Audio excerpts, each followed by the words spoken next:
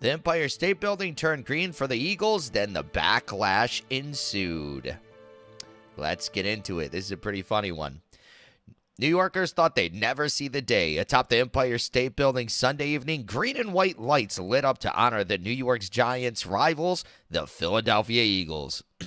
Fly at at Eagles Fly, the Empire State Building posted on Twitter Sunday evening, shortly after the Eagles clinched the NFC Championship and punched the ticket to the Super Bowl.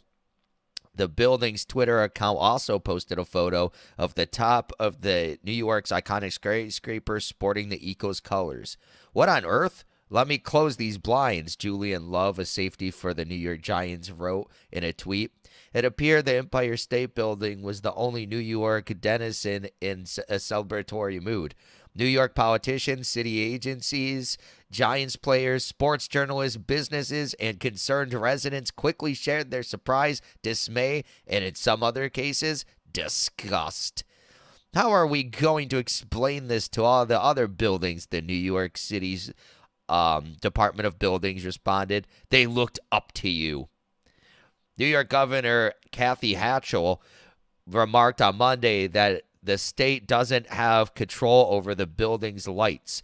New York City Councilman Justin Bra- Bra- Brannan suggested action to prevent another collective nightmare. A local law to amend the New York City Charter and the administrative code of the city of New York in relation to this never happening again, he tweeted. I hope that's a joke. God, New York already has enough laws and law for that.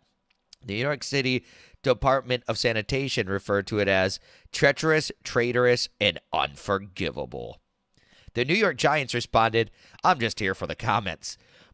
By Monday afternoon, there didn't appear to be any visible angry football fans outside the Empire State Building. Visitors filtered in and out of the revolving doorways as they typically do, with street vendors trying to convince them to buy passes to hop on sightseeing buses.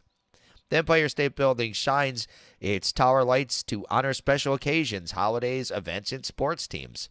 This month, the Empire State Building shared images on Twitter of the skyscraper uh, adorning a uh, orange and blue for the New York Islanders and red for the new Lunar New Year. The building has projected green lights before, including for the New York Jets. Well, at least that one makes sense. The Jets wear the color Gotham green, and the Eagles gear up in midnight green. A spokesperson for the Empire State Building didn't immediately respond to requests for comment Monday. The building's Twitter account posted a video montage of the angry tweets and headlines Monday, which included a snippet of Taylor Swift's Ready for It. We'll see you at the big game, the tweet said. The Eagles didn't appear to publicly comment on the building's lights or the kerfuffle that followed. But in Pennsylvania, the state's Department of General Services tweeted a photoshopped image of the state capitol building in Harrisburg, PA, lit up in green lights with the image of the Empire State Building alongside it. Join us, the Pennsylvania Department tweeted. On January 15th, Empire State Building's lights lit up blue to honor the New York Giants after they defeated the Minnesota Vikings for their first playoff victory in 11 years.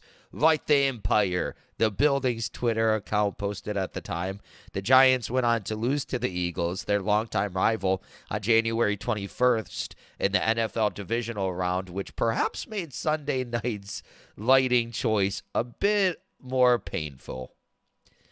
Green and white lights weren't the only colors shining on the skyscraper Sunday evening. Later that night, the Empire State Building shared an image with red lights to recognize the Kansas City Chiefs, who won the AFC Championship game and will face the Eagles in the Super Bowl.